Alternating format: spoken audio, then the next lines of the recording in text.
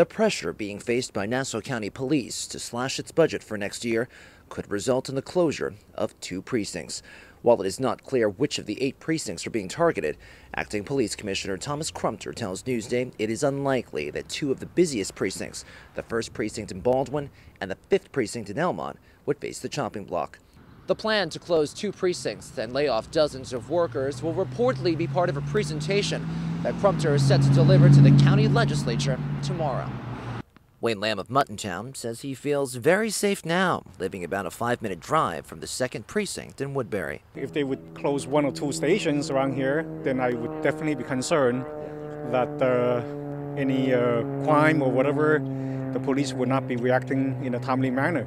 Krumpter reportedly does not believe response times would be affected by the closures. He tells Newsday the decision to redraw police boundaries that have been in place since 1972 would distribute calls for service more evenly among the six remaining precincts. And with police vehicles now equipped with the latest technology, Krumpter says officers don't use precinct houses as frequently as in the past. Those who would be affected include 81 commanders, detectives, and others on administrative duty, with Newsday saying these layoffs could save the county around $15 million. Even though it wouldn't affect the number of officers on patrol, Wayne Lamb doesn't like it. That's like saying they're going to cut back on the generals and leave the troops on the field. I don't think that's going to work because uh, without the generals or commanders directing the effort, yeah. I just cannot believe that it's going to be the same efficiency. The laid off employees would reportedly have the option of accepting demotions to lower paid positions. The number of layoffs could also go down due to retirements at the end of the year.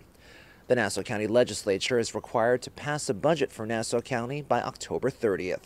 And for these potential changes affecting the police department to take effect, final approval must be given by the legislature. Reporting from Mineola, Ron Lee, FiOS 1 News.